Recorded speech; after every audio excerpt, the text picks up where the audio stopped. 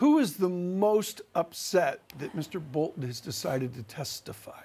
You've got to think Donald Trump is for one major reason, Tom, and that is Rudy Giuliani. I think that Bolton knows where all the bodies are buried. He knows that Giuliani played a crucial role. I think that's the big wild card. This is America. This guy, you know, whatever you think of his politics, right, left, whatever, all the cable war news, in America, in a given trial or process, we want voices heard as someone is innocent until proved guilty. Are we going through that process right now? No. I, I do think it's going to be really hard, Tom, to smear John Bolton. Uh, I think that McConnell is in a really difficult spot. I think he needs to have at least the pretense of a fair trial. So Bolton may get his hearing. I, I don't think this will lead to Trump's uh, ouster, uh, his conviction, but it's going to be a body blow to him. Do, do you think he'll be called to testify, Greg? Uh, well, obviously the Democrats are united in calling him to testify. I think you only really need four Republicans, Francine, and I think that, you know, Mitt Romney, Susan Collins, I mean, I think there are enough to get people to have him testify. Here's the crucial issue.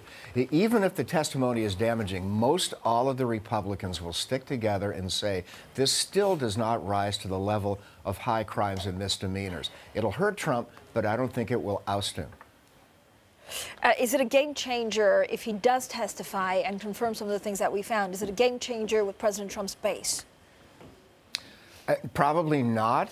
Uh, I think the bigger game changer with the president's base is that he had this aversion to any kind of Middle East uh, uh, involvement. He wanted to get out. He's famously isolationist, and his base agreed. Now, all of a sudden, he's, he's totally flipped. I think that has raised a lot of issues within his base.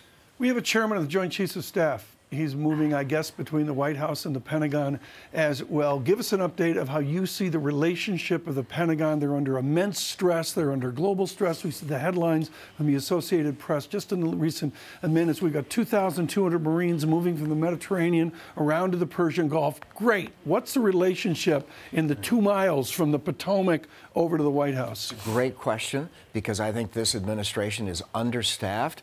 They miss Mattis. There were a lot of really. I've heard this three times in the last 24 hours. I want you to explain to our global audience sure. why General Mattis, General Kelly, and the others are missed.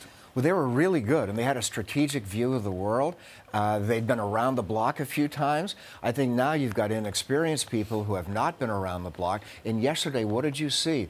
A, a, big confusion over whether we really are going to pull out of Iraq or not. We had to reverse ourselves. Big confusion over cultural uh, parts of Iran right. that might get hit. The, the, right hand is not talking to the left hand. That would not happen if Mattis were still here. Greg, what is so so important here, and this has been a constant theme in my conversations, Admiral Stavridis, folks writing for Bloomberg opinion in the last 48 hours, General Kimmitt, Mark Kimmitt, and others as well, all have the same message. We need a diplomatic and political strategy is it truly, are we truly devoid of a strategy in this Washington? Maybe it's just not clear to many of us, but it doesn't. What is the strategy? I don't know. It doesn't seem very obvious, does it? There are some good people like Mark Warner of Virginia, a moderate okay, Democrat, fine. who are saying, yes, there probably were reasons for us to move on the Iranians last week, but there has to be an end game. And for a president who doesn't want to be involved in the Middle East, this is very confusing.